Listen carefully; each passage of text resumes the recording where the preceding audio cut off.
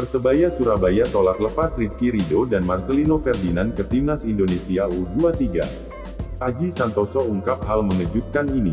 Namun sebelum kita lanjut ke pembahasan, pastikan kalian telah menekan tombol subscribe, agar channel ini makin berkembang. Jika sudah subscribe, mari kita lanjut. Persebaya Surabaya enggan melepas dua pemainnya ke Timnas Indonesia U23 untuk persiapan Piala AFF U23. Kedua pemain yang dimaksud tersebut, yakni Rizky Ridho dan Marcelino Ferdinand. Jika Rizky Ridho dan Marcelino Ferdinand diizinkan untuk membela timnas Indonesia, maka ada 14 pemain Persebaya yang absen saat Bajul Ijo melawan Persipura Jayapura, Minggu, tanggal 6 Februari tahun 2022. Pasalnya di laga melawan PSIS Semarang, Bajul Ijo sudah kehilangan 12 pemainnya karena COVID-19. Artinya bila ditambah Rizky Ridho dan Marcelino Ferdinand yang dipanggil timnas Indonesia U23, total 14 pemain terancam absen dan tersisa 13 pemain saja yang fit. Sementara aturan kompetisi menyebutkan, pertandingan bisa ditunda jika suatu tim hanya ada 14 pemain, yang siap bermain karena cedera dan terpapar COVID-19. Jika nanti Rido sama si Marcel jadi memenuhi panggilan timnas U23, kami tinggal 13 pemain, enggak akan mungkin bisa bermain, ujar pelatih Persebaya Surabaya Aji Santoso.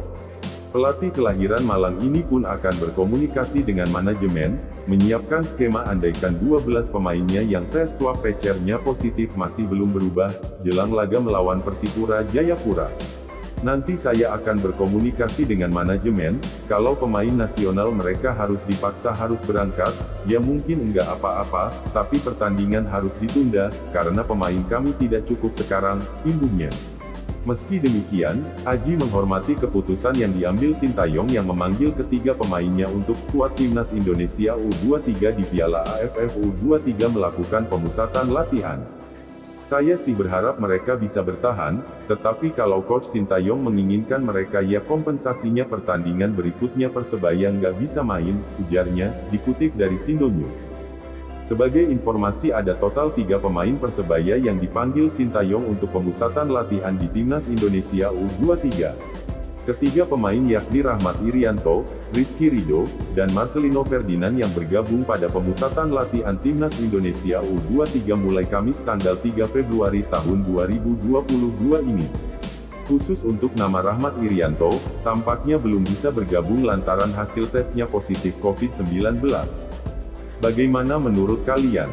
Jika kalian suka dengan video ini, nantikan video kami berikutnya. Sekian dan salam olahraga.